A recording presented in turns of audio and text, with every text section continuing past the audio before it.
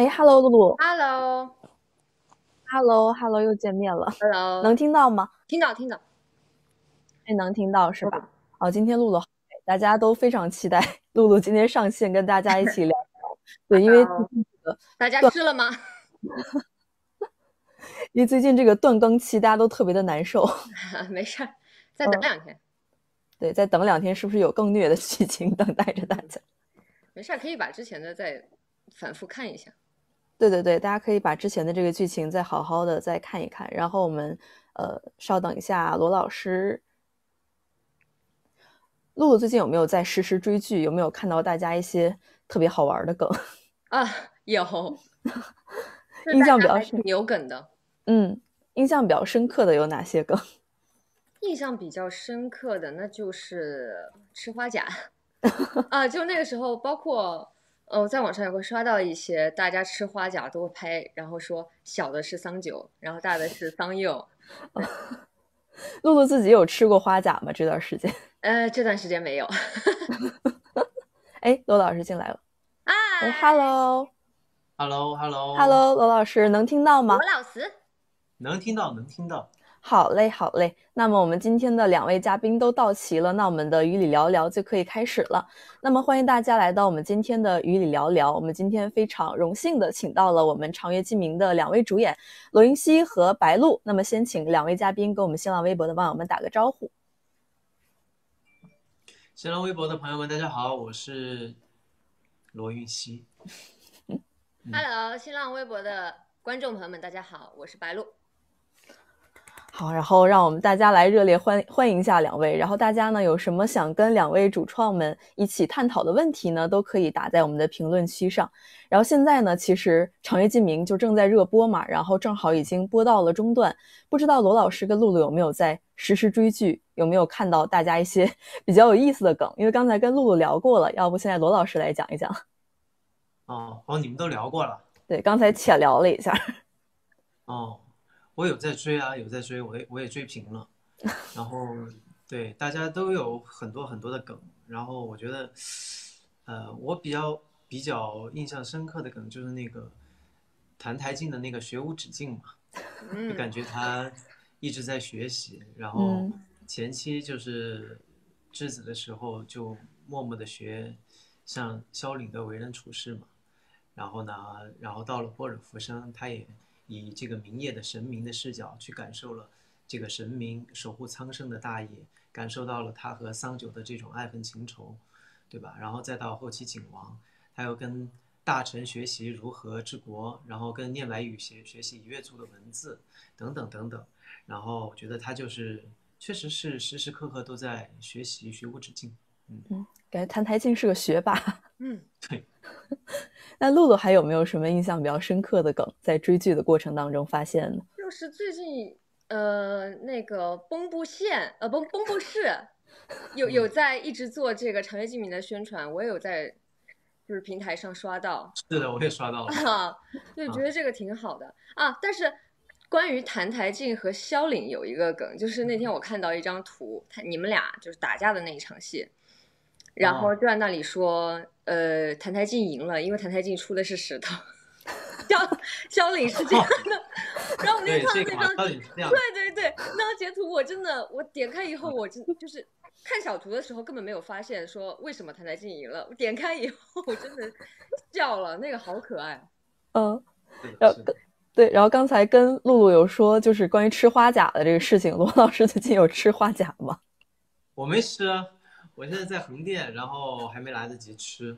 嗯然后呢，就但是我我也是看到了很多，就是关于蚌埠那边的，呃，有很多游客去蚌埠旅游，然后有吃一些花甲什么的，包括我还看到很多网友晒出吃花甲的这个这个照片儿，我觉得这个梗也挺好玩的。嗯，因为大家现在就是在晒照片的时候，都感觉好像在吃那个小桑酒，感觉会有一点心疼的样子。露露现在看到这个花甲，会不会有一种别样的情愫，哎，所以我最近没吃嘛。有点不忍心吃了？嗯，那两位就是有没有看到对方的梗比较印象深刻的？像露露刚才说了，看到罗老师的那个剪刀石头布那个梗，罗老师有没有看到就是关于露露的比较有意思的一些梗？就还是蚌埠的那个雕像嘛，就是后面有一个嗯大贝壳儿，然后有一个仙女捧着一颗那个珠子，啊对吧？然后，然后就是那个景点，我感觉特别的有意义。然后就是，呃，感觉有很多人会慕名前去打卡啊之类的，我觉得还是挺有意义的。就是，嗯，呃，让剧中的一个比较具象的东西，然后在我们现实生活中让大家有一个可以去打卡的一个这种呃冲动，我觉得是非常好的，就是带动了一些嗯、当地的旅游啊之类的，我觉得都蛮好的。嗯对，也要谢谢大家对《波尔浮生》这一个篇幅的喜欢。是的，是的，是的。嗯嗯，然后也欢迎大家多多去 蚌埠来打卡，我们长夜烬明。然后呢，就是像最近这个乌鸦也特别火，就是澹台烬的乌鸦，进门 对对对，对进门的这个使者，哎，因为就是我也看到了很多，就是比如说拍只小乌鸦，拍只小乌鸦，然后呢，呃，就在说澹台烬，这是不是你派来监视我的？就那种，嗯，你挺有意思。对，因为那个之前大家有说那个乌鸦特别的累，就一直在给这个叶希雾送信，啊，是，叶希雾在帮他健身，可能然后会不会就是大家现在就是感觉看澹台烬都希望拥有就是澹台烬能跟小动物对话的这个能力？我记得之前好像罗老师有说过，就是哎觉得这个跟小动物对话能力还挺有意思的。对啊，因嗯为你看我自己也比较喜欢宠物嘛，然后就如果真的能跟宠物对对话的话，我觉得很多，比如说，呃，自己家里有养宠物的这种这种这种这种情况的话，就会更更有趣一些。对，啊，因为你不知道大家有没有看到过，就有那种很多很聪明的小宠物哈、他们不是有那种按钮吗？嗯嗯比如说一个是那种 “hello，今你你还好吗？”就他就这么按一按。今天我吃了鸡腿啊，就这么一按，对吧？如果真的能对话的话，其实就是这种东西，你会觉得特别的有意思。嗯，是的，尤其对于就是很喜欢小动物的朋友们。对是的，然后呢，大家就是现在其实就是也在追剧。刚才在直播之前跟大家聊，就觉得 最近的这个情节有点虐，就大家会觉得，哎，刚刚甜一会儿，马上就到虐了。就两位其实现在有在追剧，那么对于这个阅尽情书还没甜半集又开虐的这个节奏，两位是 怎么看待他们俩的这个坎坎坷的感情路的？你我们是提前就已经知道了，对吧？我们提前就说过这个这个刀糖交织，然后就是那种，呃，一会儿给你一颗糖，一会儿又刀你一下，所以我们是已经知道了。但其实我们也是之前没有看过正片儿，所以这次追下来，我觉得确实是，像在坐过山车一样。嗯两位有没有就是印象比较深刻的，就是这个情绪急转直下的这个片段？呃，因为他俩有很多误会。对，嗯，其实喜欢它本身就是一件喜欢这种情感，本来就是一个很复杂的事情。再加上他们俩中间，其实我们从开播开播的时候就在跟大家讲说他们俩之间的宿命嗯，啊，所以他们俩就注定是那种刀中带糖，糖中带刀的那种。对，因为其实你想想看，黎苏苏她确实就是带着任务回到五百年前，所以她对澹台烬的这种状态，嗯，就注定了她不能像一个正常的女孩子喜欢一个男孩子的那种感情，因为她始终有任务在身的。嗯对，然后呢，但是呢，因为澹台烬觉得，哎，叶希雾，特别是他经经过了波尔浮生，感受到了桑九和明夜之间的这种爱恨情仇之后，他的情思不断的萌发，然后他真的会觉得叶希雾就是他生命当中的那一束光，所以他觉得叶希雾是一个非常善良、非常能够爱世人的这么一个人，所以他想去爱他，他也想去学着叶希雾一样去爱这个世界，所以他开始让自己变变成一个明君，试着去做一个明君，对吧？试着去爱这个世界，但是你看没有办法，像圣王那一系列的操作，对吧？然后让他没有办法去再再再再让他一个这个身怀魔骨的一个本来就是就就是一个魔拍的身份，然后去去去去去去去完全的把自己的这这种身份给压制住，所以导致了他和叶希雾当中，他和叶希雾之间产生了很多很多的误会。所以其实就是，哎，好像感觉这两个人马上就要好了，但是一把刀咔给你砍下来。嗯，尤其像最近断更的这个节点，大家也觉得特别揪心，就是喝粥的那个地方。下周好像会更虐吧？啊真的吗？很虐，下周确实很虐，因为没办法，对，因为大家明天不是要更新了吗？明天更新的那集大家看了就知道了。其实谭台静也也不是说就完全相信哦，叶希雾是不是要毒自己，所以他用了一些方法，然后去让叶希雾说实话。但是没办法啊，叶希雾用了蒙汗药啊，对吧？嗯，两位觉得就是明夜跟桑九更虐一点，还是说黎苏苏跟谭台静会更虐一点？嗯，嗯，不太一样。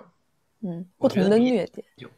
因为明夜跟桑九是确确实实的两个人都消散了。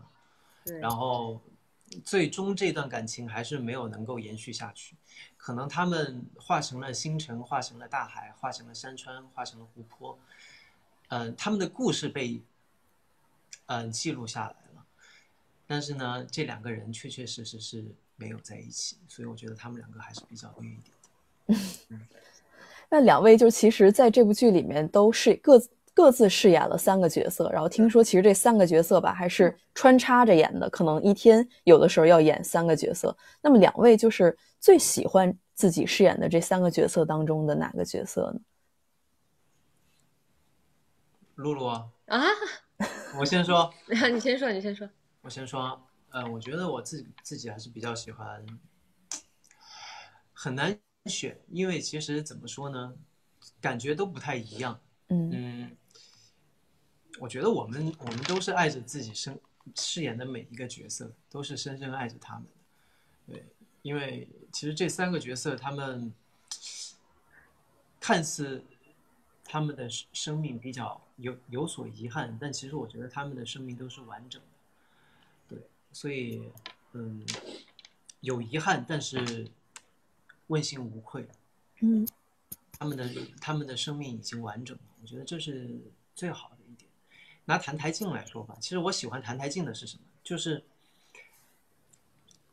他的一种成长，他从没有情思的一个状态，然后到嗯遇见叶希雾，然后给他生命当中带去那一丝温暖、一丝爱意、嗯一束光芒，然后他开始学着去感受这个世界，感受爱他的人和呃他所爱的人。我觉得这就是一种成长，然后再到波尔浮生，然后感受到了神明去如何守护苍生的这种责任感，所以到他最后选择，嗯，我就不剧透了嘛。然后他最后的选择，我觉得都是一种非常好的救赎，以及这种宿命感的呈现，我觉得都是我非常喜欢的。那明夜就不用说了，明夜他作为嗯天界的战神，然后我不知道大家有没有看《神魔大战》，对吧？我觉得《神魔大战》那一个小时，我们拍了二二十多天，确实是非常好的呈现出来了这个效果，然后把这种神明如何和魔神进行抗争，如何守护守护苍生的这种这种严威严感和这种使命感，我觉得是描描述的非常非常到位的。所以作为明夜的话，我觉得当了一把战神，然后在 在威亚上吊了二十五天，也是真的是蛮不错的。嗯嗯，哎，那罗老师能不能跟我们浅浅的，就是分享一下你最喜欢苍九敏的哪些地方，然后让大家可能对未来的剧情期待一下？我为什么没说苍九敏？就是因为苍九敏的还没播播到嘛。对，有没有小小的能跟我们透露一下，就让大家期待一下后续的剧情？苍九敏的话，其实就是、呃仙门的一个小弟子，他其实呃被师傅爱着，被他的师兄弟爱着，然后大家都在保护他，但是呢，他其实呃也有自己的使命，对，因为他到五百年后，他一定要找到呃苍九明，他一定要找找到就是他心心念念的叶希雾，因为他相信他看到萧萧凛的同样一张脸的宫野纪武出现在了在了他的面前，所以他会怀有一丝的呃希望。他在想会不会叶希雾也同样会出现在五百年后，所以他要去找叶希雾，要去和他把很多未完的一些宿命完成了。但是当他找到了之后呢，他发现哇，原来我身上背负的东西是这么重的，我如何去打破这种宿命？我如何去去真正的挽救苍生，变成了他的使命。然后他必须要做很多他自己不想做的决定。我觉得苍九明其实很复杂，是挺很难的，真的。嗯，也是一个很纠结的一个角色，感觉。是的，是的，是的。嗯，那露露就是觉得自己演的这三个角色里面，自己最喜欢哪一个，或者就是说你更喜欢这三个角色身上的哪些特质？我感情最深的肯定是黎苏苏了，因为我是以黎苏苏开始的嘛，所以黎苏苏回了五百年前，然后呃，去叶希雾体内其实也是黎苏苏的本身在，然后大部分的时间百分之八十时间都在演黎苏苏，但是我最心疼的是桑九。就是觉得他他的爱他太不自信了，嗯，然后导致于两个人其实他们俩其实真的是可以双向奔赴的一对一对情侣一对爱侣，可是最后却因为那样子的嗯一些外力的原因导致两个人就是都各自消散了，就是还挺遗憾的，嗯嗯，所以就是可能还不太忍心吃花甲粉最近，对对对对对。然后呢？对于就是对方的角色，两位有哪些印象比较深刻的吗？就是对方身上的，呃，对方角色身上的哪些特质？我可能比较喜欢谭台烬了，因为对我来讲，谭台烬有太多。你不是喜欢明夜吗？对，上次我记得说喜欢明夜。明夜是就是你要就是说你比较有意思，就是有的演的那种角色，就是澹台烬，就是这个因因为你前前后期的反差很大。比如说前期是质子时期，包括呃魔神时期的澹台烬，包括后最后上魔时期的澹台烬，就他这个人物可能会相对于比较立体、比较丰富一些。最喜欢的，因为是 我真的觉得你也很帅。后来看看神魔大战，真的是我还给罗老师发微信，我说哇，你看到了吗？因为我比他好像我是准时更新了以后，我就追了他，比比我延后。那么半个小时追剧，我说你快看，你快看，我说你赶紧看《神魔大神》，我的天哪，拍太帅了。对，你当时拍这段的时候，露露在片场有去看吗？哦，我没在，因为我不在那个十二神里面。我们的棚不一样哦，对，所以就是在那个呃真正看到这个神魔大战的场面的时候，其实大家都觉得特别的震撼。我记得当时大家都纷纷的在微博上面讨论这一段。嗯。嗯，真的是非常用心做了，嗯，是不是感觉罗老师就是在那个里面，哎，也非常的帅？哦哦，就是明野的那个状态。对，我我跟他说了，我说好帅，天呐，我说明野好帅啊。哎，罗老师刚才就是看到神魔大战那一段的时候，录录音有发微信跟你说，然后你当时第一次看到这一段，心里是什么感受？我真的是被帅到了，被自己帅到了，是吧。对，然后然后我就立马发了一个朋友圈你知道吗？我就让我就让团队的小伙伴说，你们赶紧把那个明夜的出场剪一个视频，然后我说我要发朋友圈对，然后我就我就发了个朋友圈因为我觉得确实确实就是 一夫当当关万夫莫开的那种感觉，然后就出来了。罗老师还记得那个朋友圈配的文案是什么吗？我好像被自己帅到了，不是我说好像被明夜帅到啊，对，嗯。那罗老师有没有印象比较深刻的就是关于露露的一些片段？嗯，其实很多片段都都都比较深刻，呃，因为因为我看了之后嘛，我作为一个观众，然后再去回看露露在整个《长月烬明》当中的一个叶希雾的演绎，我觉得其实我最喜欢的是叶希雾了，因为我觉得是叶希雾打开了澹台烬生命当中的那一束光，嗯，对，所以我觉得澹台烬。应该是对叶希雾的感情是最浓厚的，嗯然后我就发现，其实露露从从从她和澹台烬相见的第一场，就是贵宾面的那一场，他的所有所有反应都是非常细致、非常到位的。就是你想想看，一个一个一个五百年前屠屠戮了自己自己整个仙门的一个一个仇人，然后。突然以一个非常弱小的状态，然后出呈现在你面前，那种匪夷所思感，以及那种不可不可思议的感觉，再到再到再到，就是因为那个时候他不能一一下子把谭台烬给杀死，他是要想办法把邪骨抽出来，所以就是那种，呃，内心的既既既要既要保证他的存活，但是呢，又不能让他继续作恶的那种那种，怎么说呢？这种这种这种这种这种交织的感觉，我觉得是非常到位的。然后正是因为这种这种宿命存在，所以他们两个人后来经历的这些故事，让他们彼此之间的这种宿命感就更强了。嗯，所以我觉得露露的演绎就是真的是非常到位的。嗯，罗老师有没有看到露露就是表演的哪一段，然后给露露发微信说：“哎，我觉得你这段演的特别好的。”其实我觉得他那段演的特别好，不知道大家有没有看到？就是昨天，哎，不是昨天，就是破寒节那天。啊啊！泼寒节那天，他们不是在桥下吗？在桥下，然后，然后，呃，澹台烬对叶夕雾表白了。说其实别人喜不喜欢我，我都不在乎，只要你肯喜欢我，我就好了。而且我也试着去做一个明君，对吧？然后叶夕雾听见澹台烬的这些话，其实叶夕雾当时的状态是非常纠结的。他他在那一刹那是真正的觉得他是不是真的可以留澹台烬一命？他是不是真的觉得他只要守护在谭台烬身边，谭台烬就不会变为魔神了，不用抽他血骨了？然后露露。就那场戏的演绎，我记得他们俩抱在一起了之后，露露就是那种纠结的眼泪流下来的时候，我真的是非常感动，你知道吗？就 怪念白羽，念白羽，你要是 让我走，出现的话，嗯，希望叶白羽不要过来。啊，嗯。其实这一段大家在看的时候也特别的揪心，就是其实大家也一直在想，所以就是正好今天也可以跟罗老师跟露露一起探讨一下，就是如果在这个地方他们两个没有被叶白羽打断，然后两位觉得这个故事情节会向什么方向发展？比如说叶惜雾跟谭台烬坦白了这个事实，谭台烬听到之后会是什么样的反应呢？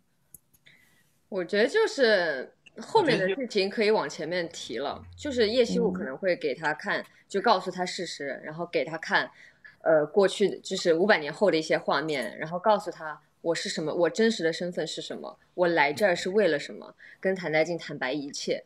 但是，嗯，我觉得谭台烬可能一没有不可能一下子接受这个事实，以谭台烬的性格，可能但但是缓两天，但是缓两天之后，谭台烬因为谭台烬那个时候也已经对叶惜雾付出了真心，也已经爱上了他。所以他一定是能够理解的，然后两个人就可以一起努力把这个事情办成。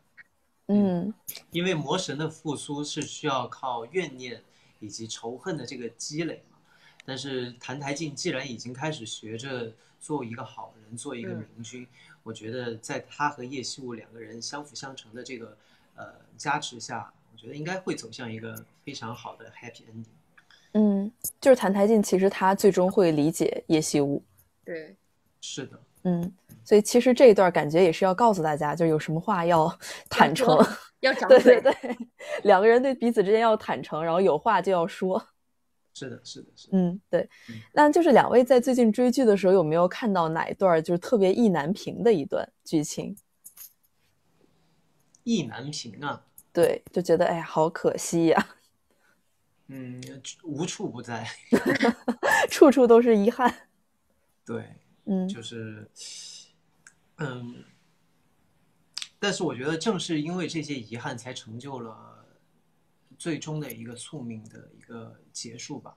嗯，对，如果没有这些遗憾的话，其实这个故事它其实就不够丰满。如果一切都非常平平稳稳的这么一步一进一步一步的进行下去的话，其实它就没有这种戏剧的冲突，没有人物之间的这种冲突。没有角色之间的冲突，我觉得其实这部剧就会变得比较平淡。我觉得正是因为有这样子的意难平，所以才成就了戏剧的张力。嗯，对，是这样的。嗯，对，所以意难平，因为这样子的这些冲突，这些意难平才可能才可以激发出大家的讨论嘛。对，因为的艺术，我我们每个人在生活当中所做的每一个决定，也许。不一定都是当下最正确的，但是我们必须要做出一个决定。这个决定可可能不是最合适的，但是我们一定会为这个决定去买单，然后成就我们接下来的一些故事。我觉得其实戏剧、影视作品也是这样子的，角色他的每一个决定或许不是最正确的，但是他一定是当下他认为这是最合适的。然后这种决定才能引出接下来的一些剧情。嗯嗯，陆老师说的特别好。那露露有没有什么就是比较意难平的一些片段，在看剧的时候？我最意难平的肯定是到目前为止播到目前为止肯定是桑九和明夜了，嗯明夜的结局，包括我那天看，就是后来离叶希雾醒过来之后，就是说明夜不要入魔，不要入魔，他又以桑九的身份回去跟明夜的那一段，哇，真的那个 BGM 一出来，直接泪目了。嗯这次我就原谅原原谅。对我天呐，我当时我我们还我其实其实说实话，就是当当时因为我们拍的时候有点错乱哈，因为我要对着景王去演，然后然后叶希雾又要对着景王去演，然后就是成片我们也是第一次看，嗯，嗯，然后那那天就是真的这个冲击感太强了，一下子就是还关键是他还是初见明夜的时候那个桑九的造型。对嗯对，就就是两个人，其实也正是因为桑九和明夜的遗憾，让让让叶希雾和澹台烬进入这个波若浮生，其实也是想通过两个人的遗憾去告诉他们，就是不要嗯去重蹈覆辙，对，对去珍惜对方，嗯去掌嘴。对，其实大家对于这个副本都有特别多的遗憾。哎，罗老师还有什么想说的吗？就像就像嗯露露说的那样啊，桑九和明夜是我们一生的意难平。我但是我觉得就像就像我刚刚说的，他们的他们陨落了，对吧？但是他们化为了山川河流。我觉得他们的故事只要被后人所记得，有像澹台烬、呃叶希雾、黎苏苏这样的人进入到他们的浮生当中去感受了他们的故事，我觉得其实这就是一种延续。我嗯觉得这也算是嗯一个看似没那么完美的完美结局吧。嗯，对。对于就是明夜的这个副本，其实大家也有特别多好奇的点。其中有一个问题是，就是在这个呃不惹浮生出来的时候，叶希雾他其实有看一眼这个明夜的尸骨，然后大家其实想知道说，这个时候的叶希雾他是作为叶希雾本体去惋惜的，还是说作为黎苏苏去惋惜，还是说他是作为桑九的这个视角再去看一眼自己曾经的爱人？我觉得，嗯，仅仅代表我个人，我觉得那一眼是替桑九看的。嗯嗯，因为当时出来以后有一个特写是他的左眼亮了一下，然后这个时候轻视之欲已经在叶希雾的眼睛里面了。我觉得可能轻视之欲里面会有桑九的一缕残魂。嗯对，其实这个时候也是，其实从我们从波尔浮生出来以后，相当于也是给他们一个就是最终的，就是告别和结局了。嗯。嗯，那那眼是替桑九看的。哦，所以是黎苏苏版的叶希雾替桑九看的这一眼，可以这么解释。好复杂。把三个角色串在一起了。嗯那罗老师觉得呢？呃，反正我看到那段的时候，我觉得其实就蛮蛮感慨的，特别是呃明夜的那个龙骨消散的那一刻，我觉得真的是，也许他们明夜和桑九没能够最终有一个好结果，但是呢，真的，他选择澹台烬进入到他的浮生，就是为了让谭台烬去感受他和桑九的各种的爱恨。对，然后让他感受到守护苍生的大义。因为什么呢？其实我不知道大家有没有注意到，就是明夜在击落上古魔神的时候，看见了上古魔神的这个脸，他发现和澹台烬的脸其实是一样的。所以当他看到澹台烬的时候，他发现澹台烬其实就是上古魔神的魔胎。对，嗯他也想要赌一把，他也想要赌一赌这个魔魔胎进入到自己的浮生之后，会不会就放下放下仇恨，去感受到爱。然后其实到最后，明夜他就是赌成功了嘛，所以他他的心愿满足了，他的龙骨也就消散了。其实是所以就还蛮感慨。嗯，那两位觉得就是桑九他最后到底有没有原谅明夜？我觉得他们俩之间没有谁对不起谁，嗯就嗯，他们一直是双向奔赴的。嗯，就是因为一些外界外力的原因，一些外界的影响，去造成了这种遗憾。其实他们俩也是想要通过这个故事，这种遗憾去点醒叶希雾和谭台烬，嗯不要不要再有遗憾。嗯，只可惜还是重蹈覆辙。对对，嗯，这也就是这个故事比较有魅力的地方。啊，我刚又想起来一个梗，嗯，就是说说桑九的本来他的蚌壳是有棱角的，后来我们进入进去的时候，他已经被盘光。就是被那个凝液盘光了，是吧？但是其实就是一开始的时候，呃，我我看到那个画面，就是一条龙盘在那儿，然后手里很很很仔细、很小心的抱抱着一个蚌壳的时候，那个画面好戳人。是，对，就觉得啊，就他真的就是一直守在那儿，守着自己这个蚌壳。嗯，嗯，对我我那天看这两集的时候，吃花甲粉儿都会不经意的摸一摸那个壳儿。你也你也给他盘一盘。呃，对对对，过于入戏了，有点儿。对，然后那我们就是再聊一聊关于叶希雾跟澹台烬他们两个就是到了景国之后的这个故事。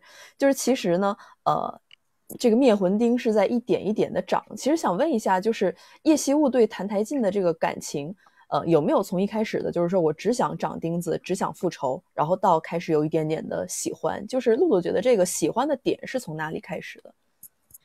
我觉得他是爱而不自知。嗯就是他一开始回去是为了就是演戏嘛，就是想想获得他的喜欢嘛。但在这个过程这个过程中，他自己逐渐了爱上谭，逐逐渐爱上谭台静，他自己不知道，因为他看到谭台静，呃，有有有，就是比如说受受景国子民拥护啊，看到了他想做一个明君，看到他这样的一个决心，然后他其实第一颗钉子长出来的时候，他一定是兴奋的，他一定是开心的，因为这样他离他的那个呃终极任务又近了一步。因为他现在不是一滴泪，然后一场梦，还差一缕丝就完成任务了嘛。但是在后来的过程中，他意识到自己已经爱上眼前这个人了。他每天看着手上的钉子，那钉子那么锋利，他也会想，这个钉子钉入谭台烬的心里，他会不会疼啊？要钉进去九颗，所以他这个纠结的过程，他一定是越来越纠结的。嗯，就是在内心把自己的爱，就对这个男人的爱和自己的责任做纠结。但是我觉得他一定是对自己这个使命是没有动摇过的，嗯嗯嗯，因为只有去完成任务，拔出邪骨，他才可以救苍生。嗯他这个使嗯命他是从来没有动摇过的，只不过他在这个过程中，就是对他的爱也是爱意也是一步一步加深，所以才会有最后那种戏剧的冲突和碰撞。嗯嗯，罗老师怎么看？就是关于长钉子的这个问题。其实我有看到大家分析说，这个灭魂钉需要双向奔赴才会真正的长出来，嗯，对吧？其实我觉得这也是一个非常好的理解，就是第一颗钉子是怎么出来的？就是叶希雾得知澹台烬把他的家人接到了景国，就是保全了他的家人。那个那个时候，叶希雾他是，嗯、确确实实是非常开心的，对，然后开心的，然后那个时候是开心的，感谢澹台烬保住了他的家人，也感谢澹台烬没有就是说呃往一个比较极端的坏的方向去发展，他觉得澹台烬好像哎往好的方向发展了，所以那个时候他不由自主的亲了澹台烬一口。那个时候其实两个人都是有非常真纯纯净的心动，所以那个时候萌生出了第一颗钉子。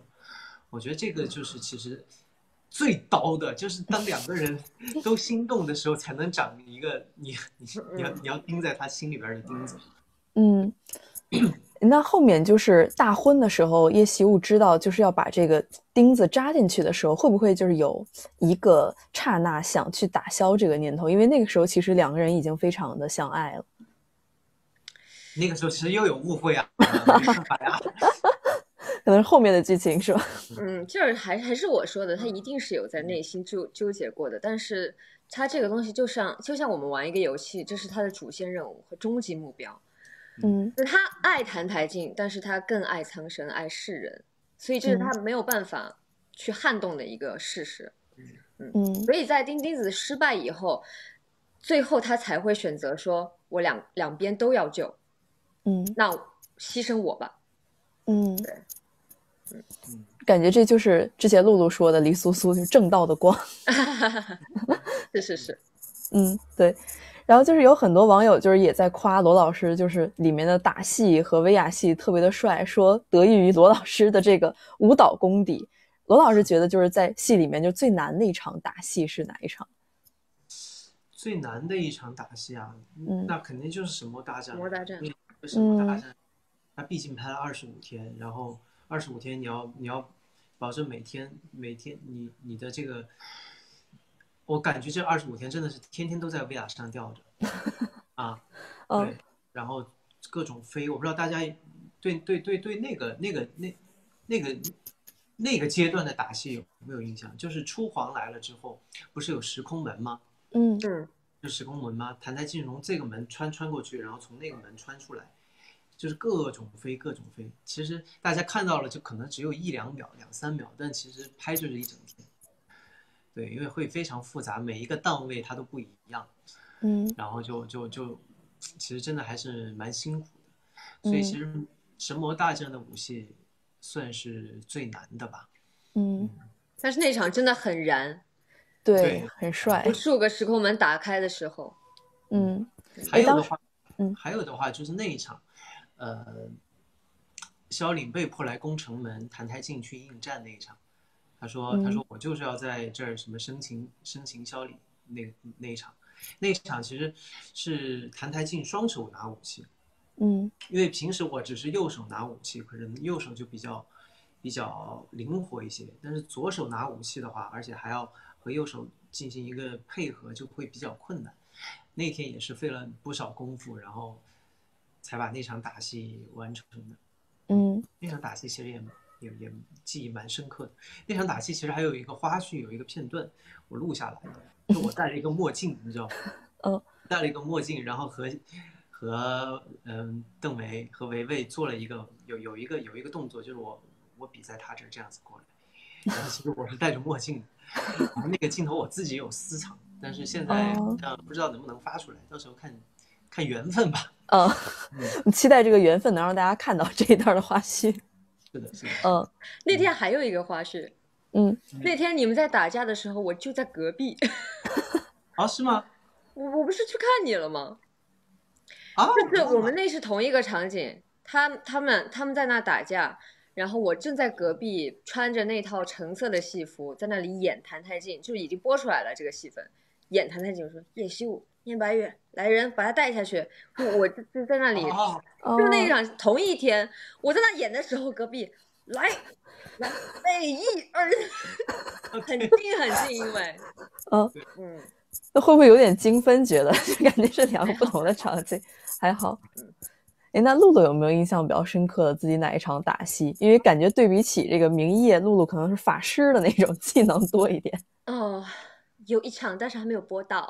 啊。是后期黎苏苏的，对，是一场跟嗯跟地冕的一个跟亲生父亲的一个打架，就是再再多的就不说了啊，就大家往后看吧，嗯。对，大家一定往后去看。对，然后呢，像现在，比如说像澹台烬各个时期的这个角色的风格，其实大家也会觉得，哎，反差是有一点大。比如说，就是质子时期澹台烬是有一点疯的，然后景王时期澹台烬就是属于特别霸气，然后还有魔神时期跟苍九敏的时期，其实各个状态风格都其实不太一样。那么罗老师其实是如何去拿捏，就是各个不同状态的这个角色的心理的呢？嗯，首先，其实我记得我说过，我看《长月烬明》这个本子的时候，我第一遍其实没有想我要怎么样去演，我第一遍就是通读剧本，然后把自己作为观众去感受这个故事，然后作为观众，你脑子里边有一个形象，这个澹台烬在不同时时候的时候，它应该是一种什么样的状态？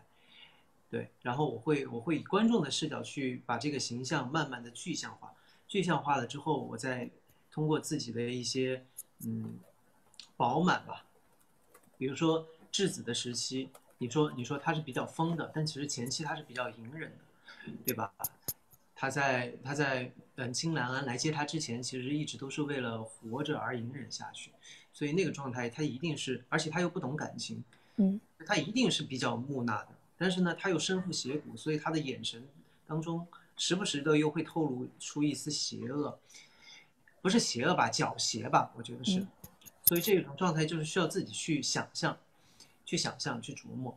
然后到了金兰安过来接他了之后，他离开了那个叶府，他离开了叶府之后，然后他也不需要再伪装了，因为他的生命其实就没有危险了，对吧？所以他才会抓住叶希雾，跟他说，其实这一切都是我安排好的。这个时候他就已经有点把他的这个邪骨的状态释放出来，就魔胎的这种状态释放出来了。对，然后呢，再到后期景王，他确实是当上王了，他就更加自信了。然后呢，包括他的情思也一点一点的萌发。其实我觉得澹台烬的情思第一次萌发是是在什么时候？就是叶希雾教他画苍生符的时候。嗯嗯对，那个时候他自己，叶希雾告诉他嘛，一定要心无杂念，心无恶念，才能画出苍生符。然后最后叶希雾倒在澹台烬怀怀里的时候，其实那个那一刹那，澹台烬真的就是心无杂念，心无恶念，所以他画出了宇宙的苍生符。嗯然后这个宇宇宙的苍生符也象征着，其实澹台烬渴望自由嘛，对，见宇宙见万物嘛，嗯对。然后所以到景王时期之后，他的他的情思更加的饱满，嗯慢慢的像一棵树一样的长大的时候，他的情绪就更加的外放，对。嗯啊，呃，再到你说明夜的时候，明夜其实嗯就是非常，我用伪光正来形容，我不知道就准不准确啊，但它差不多。其实就是就是一个比较伪光正的一一个这样子的形象嘛。然后呢，又比较害羞，对于恋爱比较害羞，比较比较不擅长，所以才和桑九错过了那么多。但是面对守护苍生的时候，他又是义无反顾的那种决心，然后那种大义。其实这种东西，我觉得最主要的就是就是要靠想象，想象完了之后，然后你要去主动的去诠释，然后诠释的准不准确，你还要通过一次一次的看回放。嗯你要自己去看一些回放，你觉得哦这个地方可能多了一点儿，那个地方可能少了一点儿，然后再去调整自己的表演。但是呢，我觉得最主要的一点就是你要把每个时期不同的状态完全的记录在自己的心里，让每一个你的表演、你的诠释都变是呈现出一种自然的状态，而不是一种刻意的状态。我觉得露露非常好的一点，也就是这样子的，因为我发现和露露对戏，就是每一场戏，我们俩都是非常自然的，就是完全没有看到一些我们在表演的痕迹、痕迹，或者说是我们在刻意去设计一些东西的痕迹。但是这些细节的东西，一些细节的眼神的流露啊，就是自然而然的就出来了。我觉得这也是我们俩当初是真的成为了彼此的角色，才会有这样这样子默契的配合。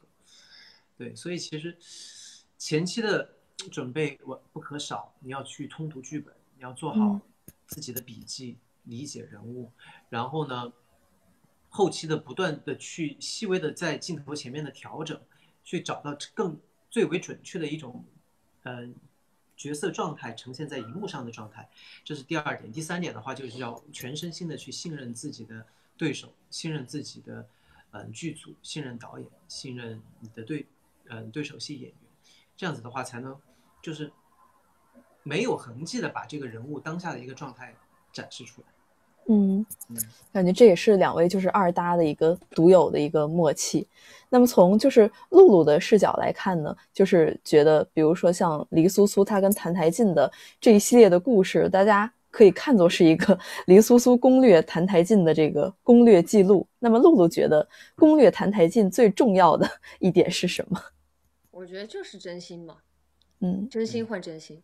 就像刚才罗老师也说的，这个钉子，就是比如说在你面前假意的开心，他可能变出来就缩回去了。这个东西一定是他们真的相爱，真的彼此心动以后，他才会变出这个钉子。所以他其实后面主主打的就是一个真诚、真心，因为他自己也是真的是爱上这个人了。嗯对，虽然他是在攻略澹台烬，但他其实也是被澹台烬攻略了 逐攻略与反被攻略。对，被他拿捏了。嗯，呃，那如果是白鹿自己来做攻略澹台烬这件事儿的话，你会有什么不一样的方法吗？啊，我去谈，我可能就是吸取明夜和桑九的教训吧，一定要嗯说，张嘴。呃，对，沟通问题其实也是，就是放到放到我们自己平时生活中也好，对，现就是一定要及时的去沟通自己内心的想法，不要憋着，就嗯不要猜，直接一点。嗯，对，我记得之前露露也有讲过，说如果跟朋友吵架，然后你一般都会是先去和好的那一个。对，因为嗯其实多说两句并不会少块肉嘛。嗯但是你也省去了中间你冷战，然后彼此就是心情不好、很低落这个过程，你干嘛不干脆直接解决了呢？嗯，所以我们总结下来就是两点：一是真心很重要，二是嗯沟通很重要。对对对，对，学到了。然后呢，对于就是最近这段时间播出的这个景国泼寒节的内容，然后大家都觉得这个泼寒节是两个人心态转变的一个节点。就刚才两位其实有聊过，那两位觉得泼寒节这一段对于两个人的情感道路会产生什么样的影响？就它到底是一个呃两人，比如说对对方在自己心目中地位都产生了一个什么样的变化？嗯，我觉得更加的认清了吧，而且更加的嗯坦然了。就像嗯，不是大巫师选中黎苏苏和嗯谭台烬，一个作为神女，一个作为魔神嘛。然后，其实当下的谭台烬也非常坦然的接受了魔神这个状态。然后他不知道大家有没有看到那个镜头，就是他坦然的张开双双臂，接受神女的赐死。其实我觉得这个镜头就是表现了两个人更加的坦然。就是如果说命运已经安排成这样，只有这样才能拯救苍生的话，那我就坦然的去接受，即便是以死亡作为代价。嗯嗯而且其实我觉得整个破寒节就更加的认清了，像黎苏苏说，他说你到底是明夜还是魔神？但是当他接下澹台烬面具的时候，他说了一句：“你谁都不是，你就是澹台烬。”嗯对吧？其实就是两个人更加的认清彼此。那个时候，其实真的，我觉得，如果能把所有的事情都说开的话，真的就是一个 happy ending。嗯，可惜遗憾的一说。嗯，嗯你觉得呢？他其实就是在破寒节上看到了，就是景国子民对谭台烬的拥护，看到谭台烬现在的所谓的成长，包括其实他那个也是一种对未来的预示吧，我觉得。就是两个人被选上去作为神女和魔神的时候，可此时此刻的叶希武手上只是拿了一把木剑，但是他举起来的时候，他还是发现，他连一把木剑他都不忍心对这个人，就是他就意识到自己真的是爱上眼前这个人了。再加上后来在桥下，其实那是澹台烬表白，嗯，对，就对于叶希武来说，他其实是一个很纠葛、很冲击的一个点，所以后来叶希武才会想说，我能不能两边都救？就是我想救澹台烬，我也我也要救苍生。对，嗯，那场戏其实大家就是印象很深刻的，也是这场戏拍的特别漂亮。然后包括嗯两位就是在逛街的这个路途当中，两位有没有印象比较深刻？就是在拍那场戏的时候的一些小故事？那个车其实特别不稳，我们俩在上面做那个那个那个祭祭祀的舞蹈的时候，其实这这脚都扎紧了，你知道吗？嗯，那车在晃是吧？对，对你没看到我们俩的手其实是这样拉住的，因为只有这样拉住才才能保证两个人，不然的话就就倒下去了。哦，那其实给了一个我们俩还要奔月，哦，对，那个那个薇娅掉的那个那个镜头嘛，嗯。对，其实掉了蛮蛮多次的，然后最后最后最后才真的比较完整的去把这个动作完成。嗯，那个那个跳的那个舞，当时就是两位是有提前排练过是吗？就是学习过嘛，嗯，嗯，嗯，然后罗嗯在平地上跳不难，但是就是在那个 那个车上跳，对，那个花车上跳，那个不叫花车吧？那个叫什么？祭祀的车，在那个车上跳就会比较难，因为那个车其实走，它它在往前移动的，它在往前移动，然后因为那个地也不平，就会就会这么抖。哦，嗯，就有一点坐地铁的那种感觉是吧？哎，大家看我们俩很认真在跳，其实在很认真的保持平衡。哦，就是其实两个人就是在支撑着彼此。嗯，是的，是的。嗯，然后其实呢，很多网友就是也比较关心《长月烬明》后续的一些剧情，尤其这两天可能是断更日，然后大家会可能讨论的会更多一点。就想问一下两位老师是怎么看待自己的角色以及最后的结局的呢？嗯，就像我刚才，我觉得我用了一个词，就是完整。我觉得就是每一个角色他们的，嗯，他们的人生都是完整的。嗯，或许会有遗憾，但其实他们都为自己的命运所拼搏、所付出、所抗争，所以最终不管结果怎么样，他们都得到了一段完整的人生。嗯对，所以他们值得被后人所纪念。我觉得这是最好的。但是当当中间呢，肯定会有摩擦，肯定会有冲突，肯定会有误会，因为没有这些误会的话，就没有办法成就接下来的一些起承转合和一些铺垫。对，嗯也正是因为这些误会，才说这就是这两个人，或者说这整部剧的一个宿命和命运。嗯我们必须要去接受这样子的一些冲突、一些宿命的安排。但是最终呢，我相信一定会有一个非常圆满、非常合适的结果来回馈给大家。嗯，嗯，那露露觉得，我觉得我很喜欢苏苏的一点是，她是一个很复杂的成长型的女子。就是一开始她，她一开始啊也不是神女，她作为嗯。黎苏苏穿越到五百年前的时候，她只是一个普通的仙门之女，她也没有经历过那么多的世事，也没有那么也也没有经历过那么多的爱恨情仇，所以她是和叶希雾和桑九一起在成长的，包括最后在以我先随换你换你写骨的时候，他并不知道自己可以回到五百年后，所以他就就是只有他一个人在这里做这个任务。他为了拯救整个唐僧，为了拯救谭台烬，他做出了这个选择。他要嗯他要牺牲他一个人，包括后来回到五百年后，他开始修无情道，包括最后成神。其实谭台烬他也一样，他也是有一个成长线的。那我觉得我们的结局，就像罗老师刚才说的，是最合适的结局。就是最后我们的结局也是想要把这个戏最大的利益告诉大家，就是救赎和大爱，就是苍生大过一切，就没有什么比这个世界的和平更重要。这个是我们的结局想要传达的一个东西。嗯，所以其实就是两位的角色最后的结局，应该也是呃两位其实最想看到的一个结局，就是人物他们都有了成长，然后也都为了我们的苍生和大爱做出了努力。嗯嗯，好，然后我们刚才聊了很多的剧情，然后最后再跟 两位聊一些比较有意思的话题。就是其实呢，在我们剧播出之后，呃，两位应该有看到网友们就是也在这个列文虎克式追剧，就纷纷考古两位之前演过的影视剧，然后包括两位之前的一些历史。两位有没有看到网友的一些考古？嗯，我肯定有看到。呃，两位觉得比较离谱的是哪个？印象比较深刻的？蛮多都挺离谱的。或者说一下彼此对对方就觉得对方的最离谱的一个是什么？还好嗯还好吧还好吧，因为嗯每个人他都有自己的就是成长过程。嗯嗯，嗯比如说考古我们之前的一些拍过的戏啊，嗯现嗯在看上去可能会有一些呃无厘头，或者说是有一些呃，就是以前嘛小时候拍的，可能就是比较呃无厘头搞怪一些。嗯特别是我看到别人考古我那个姬恒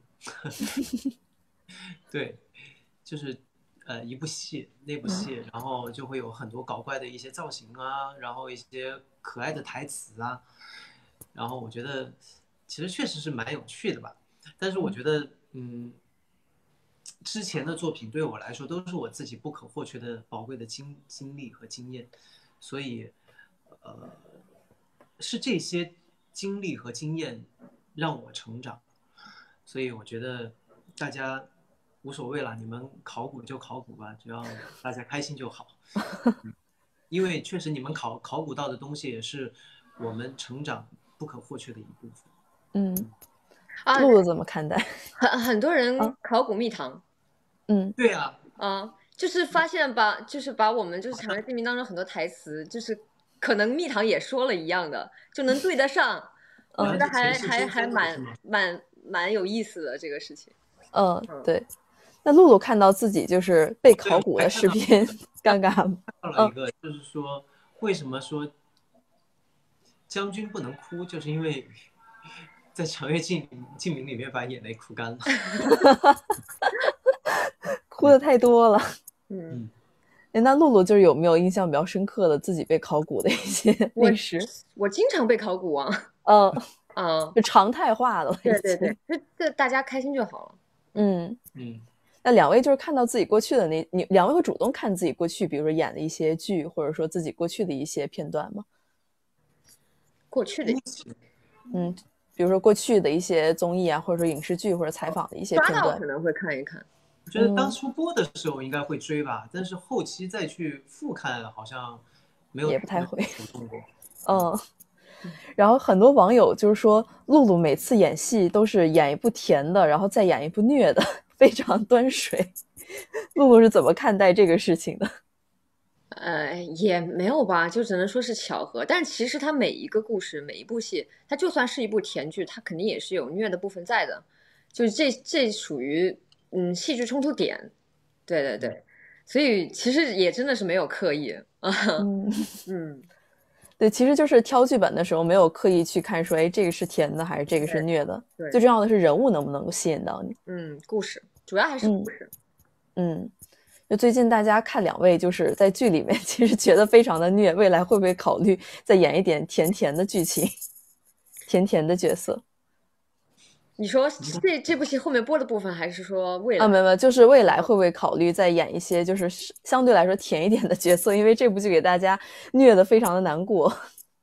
那没，那其实你要说这样，长月其实也不是说就是都很虐，我们后面嗯是有、有甜甜的部分的，哦，包括到了五百年之后的黎苏苏、本本苏和苍九明，也是有很多甜的部分在的。